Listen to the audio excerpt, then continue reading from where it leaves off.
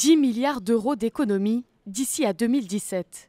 Première contributrice du plan de réduction des dépenses de l'assurance maladie, l'industrie pharmaceutique. Sans surprise, la ministre des Affaires sociales s'attaque au prix des médicaments. Baisser leur prix et favoriser les génériques permettront de dégager 3 milliards et demi d'euros, soit plus du tiers des 10 milliards. Une mesure d'autant plus efficace qu'elle est indolore pour les patients, puisque ces dépenses sont souvent prises en charge par l'assurance maladie et les mutuelles. Marisol Touraine entend aussi réduire la durée des séjours hospitaliers, notamment en développant la chirurgie ambulatoire, qui permet aux patients de sortir de l'hôpital le jour même.